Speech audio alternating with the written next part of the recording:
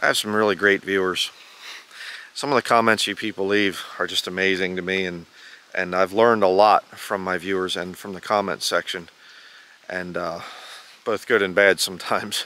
But uh, occasionally I get a real gem and I have to check into it and, and then I do a video on it. That's the case right now.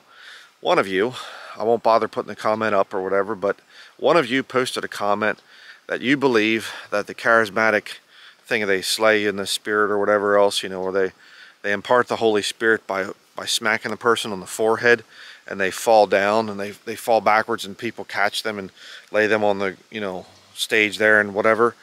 And you said it's just a Masonic ritual. It's the Master Mason ritual. And I thought, that's exactly what it is.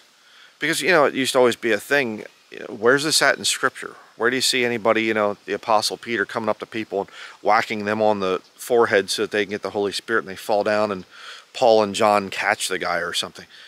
It's not there. The only reference to people falling backward in the New Testament is when they came for Jesus in the Garden of Gethsemane, the soldiers, and Jesus speaks and they fall backward. Well, he wasn't imparting the Holy Spirit to them. He was rebuking them, showing his power, that he is God. Okay, so uh, that's the only time people fell backward. There's no mention in the book of Acts of people getting the Holy Spirit and they're getting whacked on the forehead and falling backward. But if you know anything about the Masonic Master Mason degree, what they do is they you have the uh, three ruffians or whatever, and they they accost this this guy, the initiate that's going to become the Master Mason, and they take a maul and they whack him in the forehead, and he falls backwards. The other two guys catch him, and then they you know bury his body in the rubble. And then they come back and they, they raise him up with the strong grip of the lion's paw, you know, the thing like that. And then, you know, he goes through the rest of the ritual. Very strange. I never made the connection before. Uh, a lot of things get by me. I'm not, you know, completely infallible, or I'm not at all infallible. Um, so, you know, I appreciate it when people, you know, say things like that to me and, and uh, give me something to think about. So, just unreal. You know, I never thought about that before. And um, so but I'll show you what I mean here at the end of the video and you can see it for yourself. Let me know what you think in the comments down below. What I undertake that I do.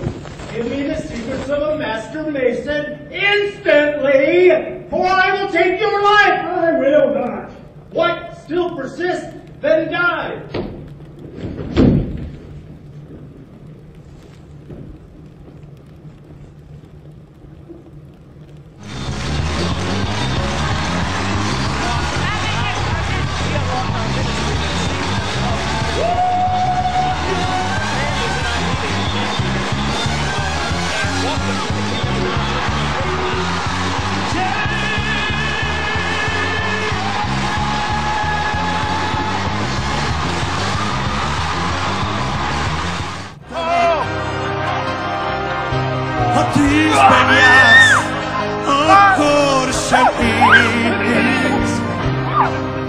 i solar megment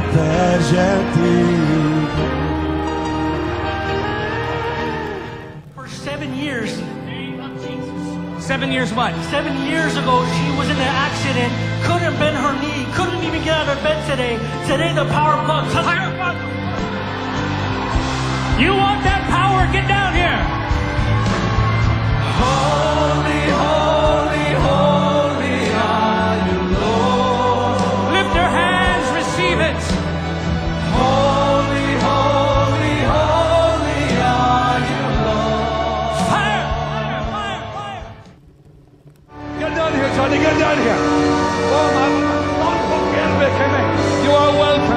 Place.